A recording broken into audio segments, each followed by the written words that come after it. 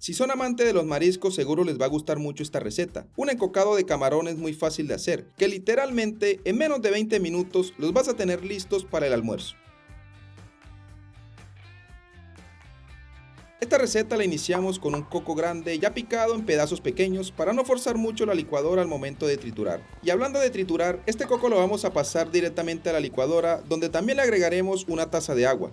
Le damos máxima potencia pero poco a poco, ya que recuerden que el coco es un tanto duro y es mejor no forzar la máquina. Si ven que no está licuando correctamente, pueden apagarla y con una cuchara van mezclando para que el coco entero se vaya al fondo. Y si notan que aún no funciona bien, pueden agregarle otro poquito de agua. La idea es que este coco quede bien triturado para sacarle el máximo provecho. Ahora lo pasamos directamente al colador donde escurriremos muy bien todo este afrecho presionando fuertemente con la cuchara. Esta primera leche que sale la reservamos y nuevamente volvemos a licuar el afrecho con una taza más de agua. Necesitamos sacarle el máximo extracto a este coco. Igualmente colamos, exprimimos muy bien el afrecho y reservamos. Ahora rápidamente en un sartén a fuego alto ponemos un buen chorro de aceite de oliva o vegetal. Seguido a eso le agregamos una cebolla morada bien picadita. También vamos a ponerle una cebolla larga igualmente bien picada. Y por último cuatro dientes de ajo. Si quieren lo pueden picar o triturar en el mortero. Estos ingredientes le daremos una buena mezclada por unos 3 minutos hasta que empiecen a cristalizarse. Una vez logremos este punto le ponemos medio pimentón rojo finamente picado y vamos a seguir mezclando por un par de minutos más. Ahora llegó el momento de ponerle sazón. Obviamente sal al gusto, una cucharadita de comino molido, una cucharadita de orégano seco, una cucharadita de paprika y finalmente pimienta negra recién molida totalmente al gusto.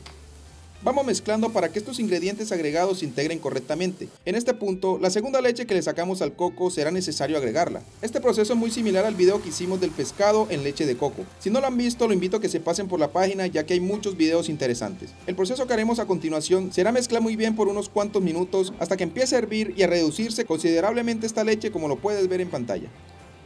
En este punto les presento a los protagonistas de esta receta, unos camarones de un excelente tamaño. Estos los compramos así como los ven, bien limpiecitos y perfectos para su uso inmediato. La cantidad que compramos fue una libra, pero en este caso no la vamos a utilizar toda. Procedemos a agregar estos camarones al guiso acomodándolos muy bien. Ahora, si se acuerdan de la primera leche que le sacamos al coco, bueno, ahora sí llegó el momento de agregársela a esta preparación. Recuerden que esto lo hacemos para darle un toque más de cremosidad al plato y por supuesto mucho más sabor. Ya para culminar esta receta, le damos una rociadita de cilantro finamente picado al gusto. Mezclamos por unos segundos más y vamos a dejar cocinar esto de 5 a 7 minutos a fuego alto. No les recomiendo que dejen sobrecocer el camarón porque no es muy agradable. Pasado el tiempo, miren qué belleza. Esta preparación está lista. Podemos decir que hemos terminado esta receta. Ya lo que queda es emplatar. Podemos acompañar con un arrocito blanco y una buena ensalada o como en nuestro caso, unos buenos patacones combinan perfectamente con este plato. Gracias por ver el video. Yo soy Ricardo y recuerda que quien prepara cada una de estas delicias es mi linda esposa Juliana. Nos vemos en una próxima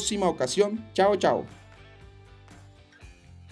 Bueno, los que nos siguen hace rato saben que yo soy muy amante de los mariscos, especialmente de los camarones. Para mí son una total delicia y cada vez que tenemos la oportunidad de preparar unos, los preparamos, eso sí, de forma diferente, de forma distintas, para enseñarle a ustedes cómo se hace. Vamos a darle la prueba. Se me hizo agua la boca. Miren. Perfectamente escocidos.